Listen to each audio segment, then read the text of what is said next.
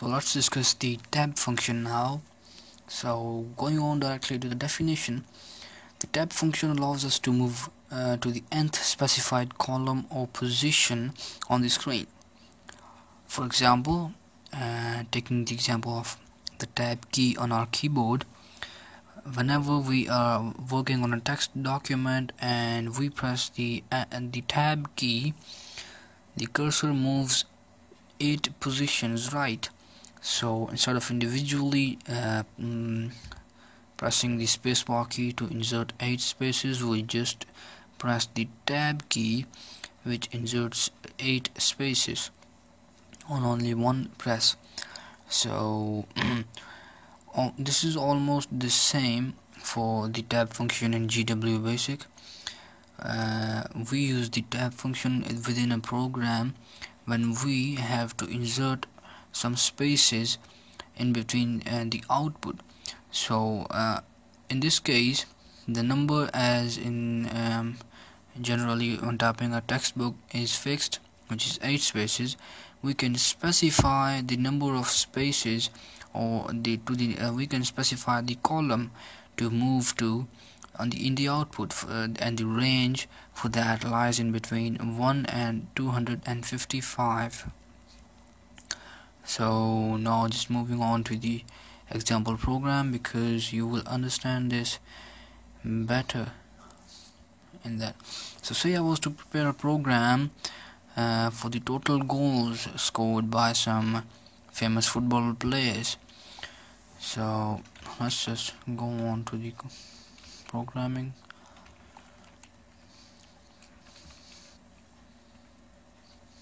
Just as in our previous video we will insert string and strings and non-strings simultaneously. So say uh, a string has a value of Ronaldo B string, uh, B string has the value of say Messi and C string has the value of Percy. And now D has the value of 400 then E has the value of 390 and F has the value of 380 so now we're gonna print our results here. First of all we'll print the name of uh, the player. Then I will Notice that I am inserting an extra space before scores inside the strings because if I don't insert this space here in the output the uh, the word Ronaldo the value of a string and scores will appear without any space in between them. So for better understanding I have inserted a space within the strings because this will appear as it is in the output.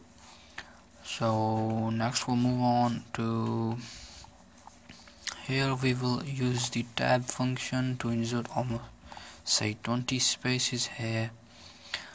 Then the number of goals which are scored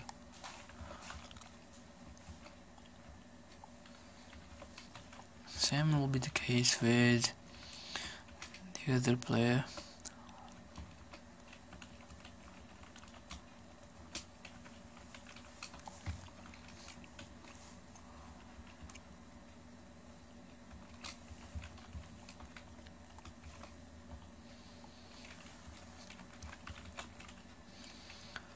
Now the last player here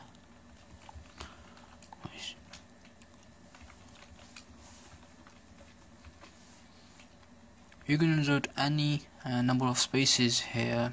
As I stated earlier but the range should lie in between 1 and 255 so I've chosen the number 20 it will move the output to the 20th place on the screen. So now let's just run. You see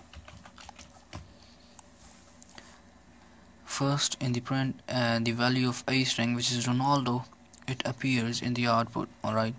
Then uh, the string which I typed here which is scores with a space on the left appears after after that. So then uh, a space almost of 20, uh, the, the output will move to the 20th column uh, of the screen.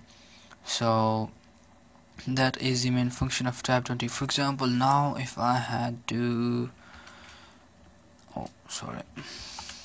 Added the line number for the I'll just insert some more spaces. I'll just change the number 20 say I was to insert 30 spaces here. Oh that's wrong